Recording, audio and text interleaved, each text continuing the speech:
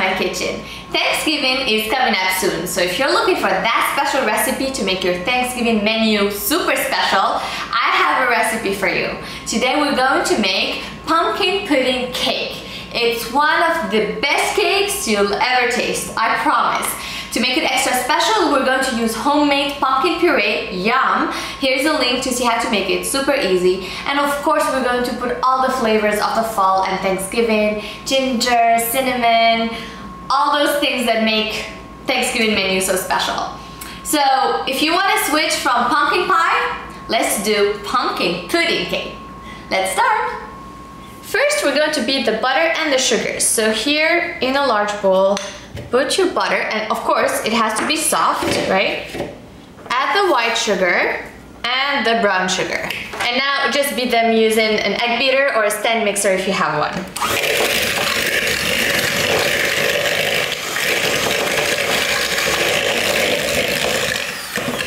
So you beat them until they become creamy and well mixed. Now add the egg and continue mixing. Now add the spices and the baking powder. So here I have ground ginger, cinnamon, baking soda and salt. And I have baking powder. You can also add a little uh, pinch of ground nutmeg or cloves or whatever warm spices you like. Make sure you scrape the sides so that all the ingredients are well mixed. Next great ingredient, we're going to add the pumpkin puree. See here I have freshly made pumpkin puree or you can use canned pumpkin puree, whatever you like. I'm using fresh one, so mix it in as well. Sift the flour and add it to the egg mixture.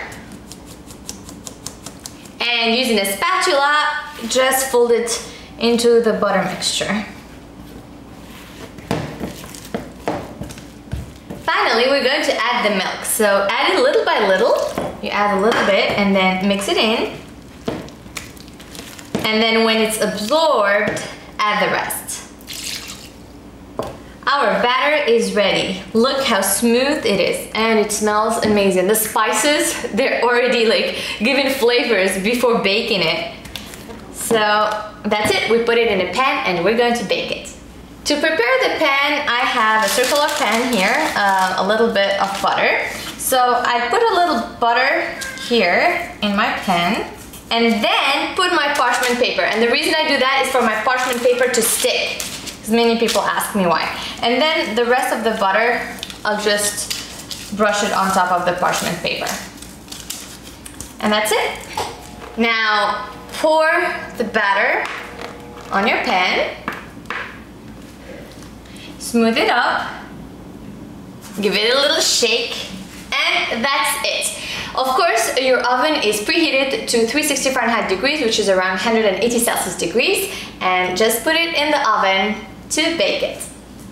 I bake the cake for around 30 to 35 minutes and it will depend on your oven. To know it's ready, touch uh, the center of the cake. It should feel firm, not too firm, but like firm, it springs back. If it's too moist, like you could put your finger in it, then you know it needs more baking but this way it's good. So let the cake cool down uh, for around 15 to 20 minutes and then we'll flip it and we'll taste it.